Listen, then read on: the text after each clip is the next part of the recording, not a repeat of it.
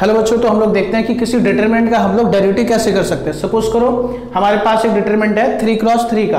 A B C D F G H R इसका हमें derivative करना है। तो देखो, अगर ये थ्री क्रॉस थ्री का है तो हमारा जो डेरिवेटिव होगा इसका, वो तीन अलग अलग डिटरमिनेंट में कन्वर्ट हो जाएगा। ठीक है ना? किस तरीके से?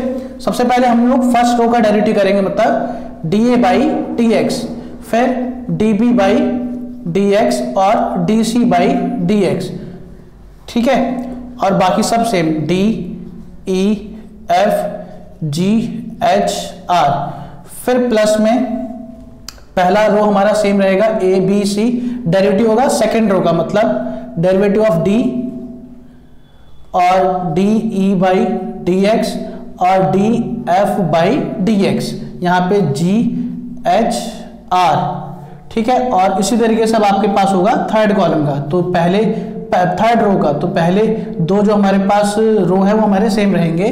डी ई एफ़ और उसके बाद फिर डी ऑफ़ जी फिर डी ऑफ़ एच फिर डी ऑफ़ आर इस तरीके से हम लोग क्या कर सकते हैं? डेरिवेटिव कर सकते हैं किसी भी डिटर्मिनेंट का ठीक है ना? तो इसके बेस पे एक हम लोग क्वेश्चन देख लेते हैं। जैसे मान लो हमारे पास एक क्वेश्चन है।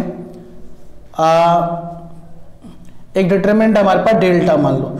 यह आएगा F X G X H X यहाँ पे स्मॉल एल एम एन और स्मॉल में पी क्यू आर है। यहाँ पे एल एम एन और पी क्यू आर हमारे पास क्या है? कॉन्स्टेंट है। तो इसका जब हम डेरिवेटिव करेंगे डेल्टा ऑफ़ डी एक्स तो क्या हो जाएगा?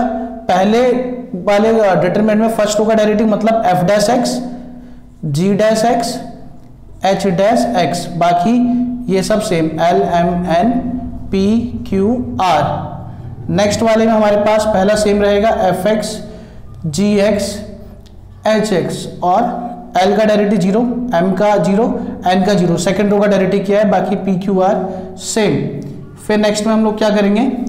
फ़र्स्ट और second row same G X H X और यहाँ पे एल एम एन और यहाँ पे थर्ड रो का डेरिवेटिव मतलब पी क्यू आर का, तीनों कॉन्स्टेंट है, तीनों का डेरिवेटिव हो गया ज़ीरो अब आपको पता होगा कि अगर किसी डिटरमिनेंट में किसी भी एक रो या कॉलम के सारे एलिमेंट ज़ीरो होते हैं तो वो क्या होता है? ज़ीरो तो ये हमारे पास ज़ीरो हो गया पूरा और ये भी हमारे पास ज़ीरो हो गया। तो इसका आंसर आ गया F dash X G dash X H dash X और एल एम एन और पी क्यू आर ये इसका हमारा फाइनल आंसर आ गया, ठीक है?